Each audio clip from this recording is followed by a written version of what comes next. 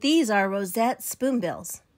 They are large wading birds known for their pink plumage and their spoon shaped bills.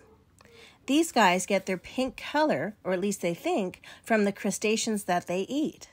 Spoonbills fly with their neck and legs stretched out, and when they walk, they swing their head back and forth in a sideways motion.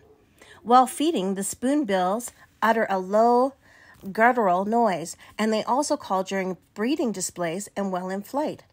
Spoonbills are typically in a group. They nest singular or in pairs. And usually, when they nest, they nest in trees over the water so that it's easy to get to their food source. Females lay their eggs about five at a time, and the parents share the duties of incubating these eggs. La- it lasts about 22 to 24 days. Then the hatchlings appear. They are bright pink skinned with a light covering of down when they're first born. After about a month, the little ones start exercising and climbing around the branches and foliage of the nest. Now, by six weeks, they've developed their large feathers on their wings so that they can fly.